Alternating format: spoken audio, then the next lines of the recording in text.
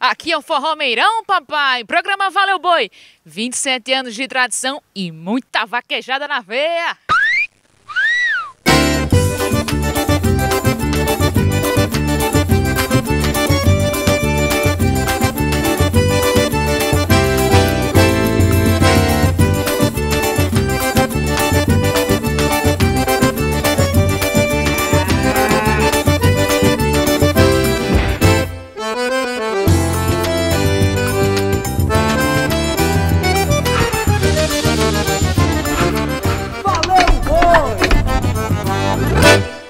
São Paulo do Potengi vai ser pioneiro em programa federal que vai usar energia solar na criação de caprinos e produção de frutas. Dentro desse ônibus do Senai só tem coisa boa, queijo, iogurte, tudo feito aqui. É, e nós entramos lá para conferir e para provar.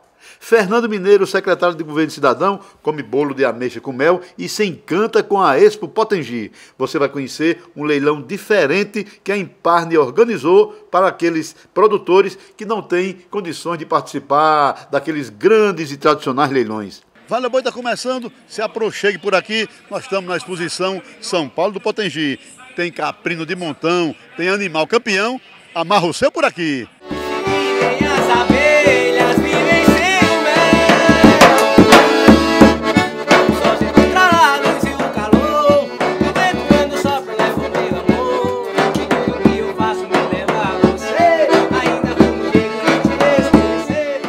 São Paulo do Potengi abriu a temporada das exposições agropecuárias do Rio Grande do Norte. O calendário do circuito estadual vai contemplar 15 municípios do estado. A Expo Potengi atraiu criadores de estados do Nordeste, empresários paulistas e Arlindo Ivo, presidente da ABCC, Associação Brasileira de Criadores de Caprinos. Virou tradição a antiga caprifeira de São Paulo do Potengi. A animação é geral, por todo lado tem sanfoneiro, triangueiro e zabumbeiro. Arnaldinho começou a puxar a sanfona logo cedo. Todo passarinho volta pro seu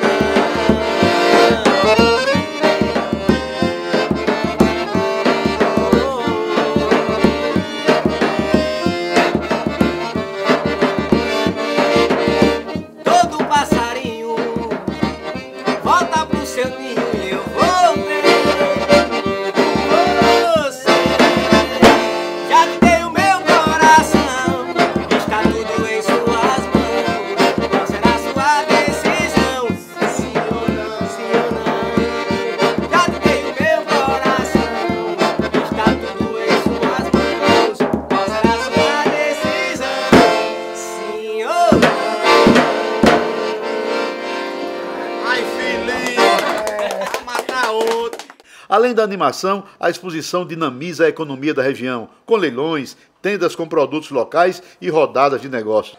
Mendes, mais uma edição da exposição agropecuária aqui do Potengi com a avaliação desse ano. Avaliação com muita esperança, né? A perspectiva de inverno.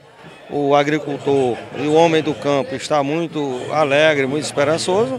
E nós também estamos aqui trazendo nossos animais, esperando que possa cada dia mais oxigenar a caprina ovinocultura da nossa região e do nosso Rio Grande do Norte. Os produtores rurais participam de várias capacitações e oficinas coordenadas pelo sistema FAERN, Senar, SEBRAE e vários órgãos do governo estadual.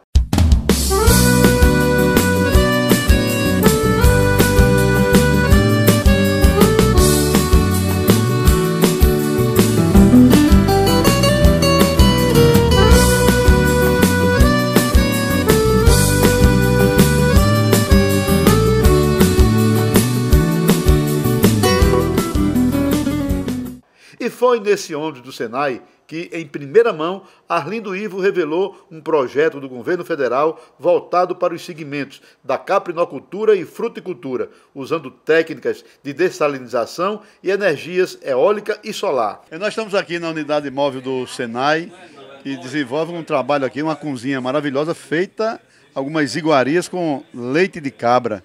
Não é isso, Raoni? Com certeza.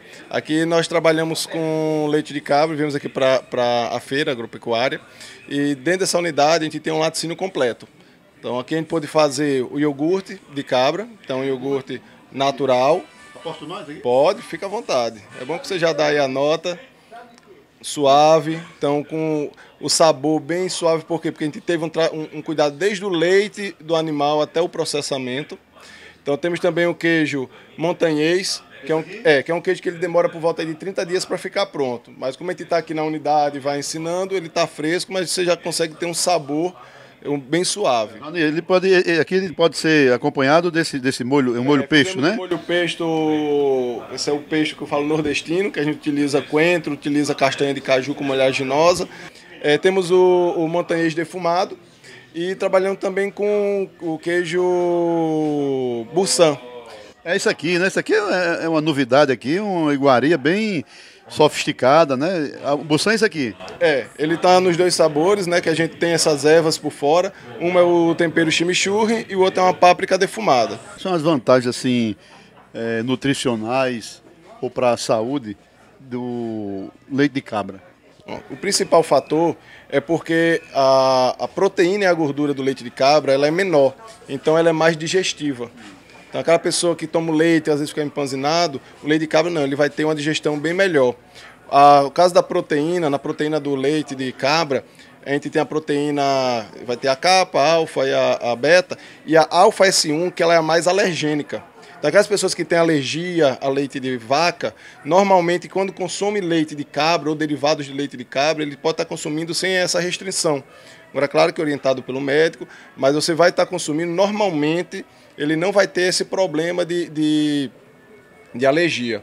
E com relação também à intolerância, né, à lactose, como ela também tem um, um, uma digestibilidade muito rápida, e você pegar um iogurte que é fermentado, então você já vai ter degradado essa lactose, normalmente a pessoa que tem intolerância pode estar tomando esse tipo de produto. Então são produtos feitos aqui com animais daqui, então um produto muito nutritivo, muito nutritivo, como eu falei, é, são vários benefícios à saúde e Tá aqui à disposição vários produtos que a gente, que, quando a gente foca, que não quer fazer só aquele queijo coalho, aquele queijo é, Minas Frescal. Nós temos potencial para fazer os verdadeiros queijos de cabra e, quem sabe, desenvolver queijos específicos da nossa região.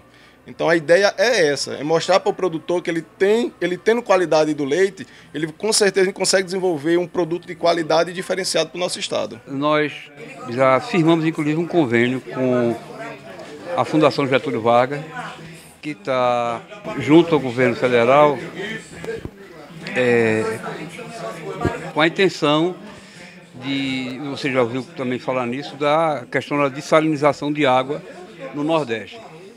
Então, está é, tá, se fazendo um, planejamento em, em, diversas áreas e com cabra de leite, é, a Fundação Getúlio Vargas procurou a BCC a intenção, isso é com recurso da chinês e a ideia é se criar, a princípio, dois polos no semiárido do Nordeste e a BCC vai acompanhar a execução desse projeto.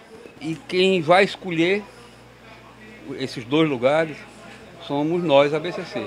A BCC escolheu São Paulo do Potengi. É. O é que achou aí, prefeito, da notícia? Mas eu tô surpreso, né? Maravilha a gente ter esse, esse carinho, esse calor e esse respeito, viu? Além do, pela, pela, pela nossa terra São Paulo Potengi, né?